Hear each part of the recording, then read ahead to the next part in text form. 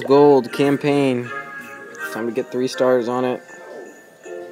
See if my strategy works. I'm gonna put one, two, three. Um. One.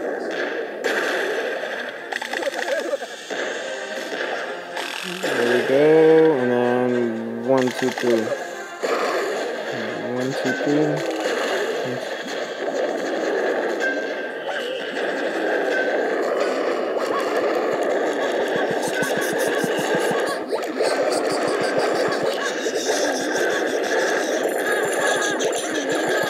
Ah, this is gonna work. I love it. Yeah, those ogres do work, man.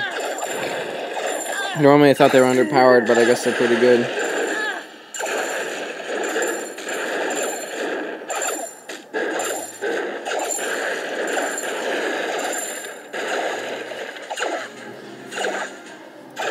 There you go, guys. Fool's Gold, 100%.